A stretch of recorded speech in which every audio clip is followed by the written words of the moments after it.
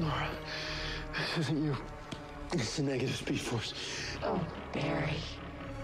So fast, but somehow always so slow. You never figured out the most powerful form of hate is by corrupting love, by twisting it into its negative.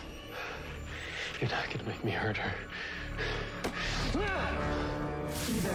Either you kill your daughter, or I kill you. Both ways, I win. Laura, what are you doing? Eddie, I told you, we're getting your life back. No, this isn't right. Eddie, I can't believe you're really here. You sacrificed your life to save me. I never thanked you. You too, Bear. These last couple days, I feel like I've been losing my mind. Do you live here?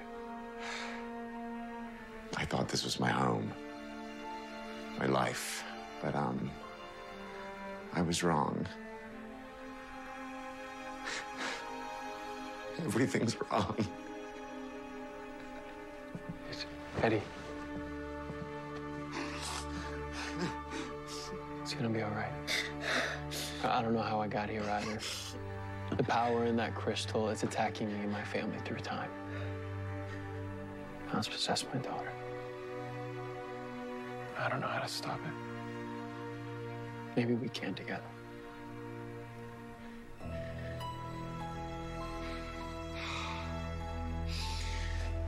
All I know is I used to be Malcolm Gilmore. I had his life, his memories, and that was a lie.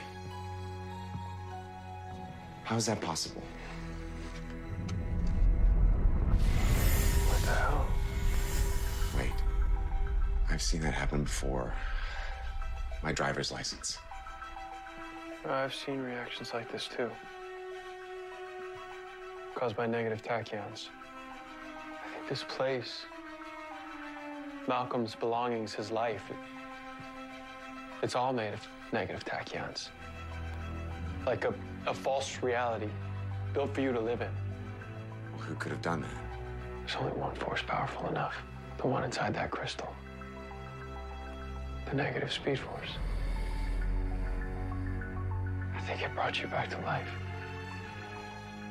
Why would it bring me back? Eddie, I think the negative speed force resurrected you. So you could be its avatar.